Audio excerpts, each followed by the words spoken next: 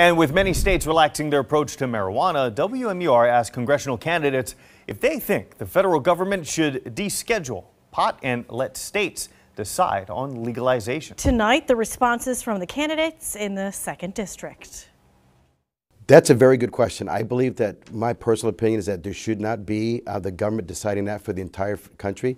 I think states need to have that, but you have to be careful because if you have the federal government trying to dictate something and a state dictate something else, as we see in Colorado, you get crosswise with the with actually the implementation of law. I do think it's a state by state issue. Uh, I support the decision of the New Hampshire legislature to expand to medical marijuana. I want to make sure we get more research about what the impacts are. Because what I've seen from other states that have legalized ahead of us is that you're starting to get elements of uh, criminal syndicates or big business getting involved.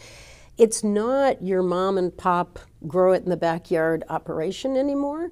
And yet, I have talked to people who believe sincerely that marijuana can alleviate pain, uh, alleviate nausea, can be part of um, treatment, for example, for recovery from uh, cancer treatments, and maybe the jury's still out for pain management that is causing people to get down the road with opioid addiction. Mm.